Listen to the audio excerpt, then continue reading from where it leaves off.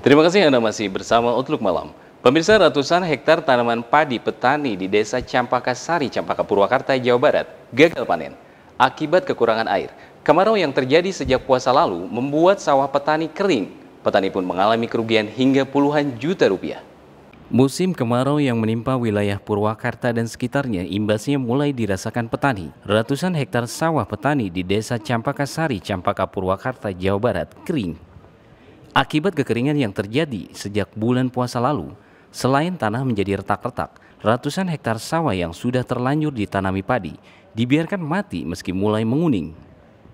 Mista, petani Campakasari mengaku mengalami kerugian hingga puluhan juta rupiah akibat sawah yang kering.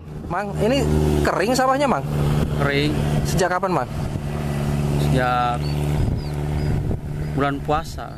Sampai sekarang masih kering ya? Hmm, hari nggak ada untuk ini nggak ada untuk nyiram lah. Air ya? Air. Terus? Juga jet pump juga kan mati nggak ada yang ngebetulin tuh. Hmm, mang kerugian berapa mang?